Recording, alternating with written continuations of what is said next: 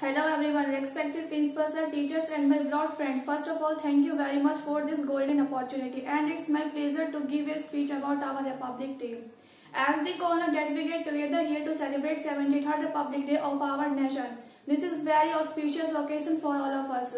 Since 1950, we celebrate Republic Day with lots of joy and happiness. We celebrate Republic Day on 26 January in Indian Constitution come into a force in this day in 1950. As Republic Day celebrate, a big arrangement take place by the government of India in New Delhi at Rajpath in front of the India Gate.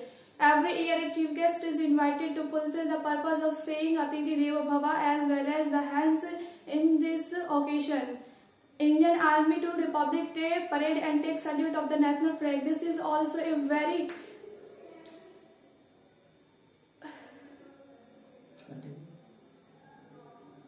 yeah. Also a very this is this is also a very big exhibition by the Indian culture and tradition take place by the different Indian states to show in to show the unity in diversity in India. Thank you so much.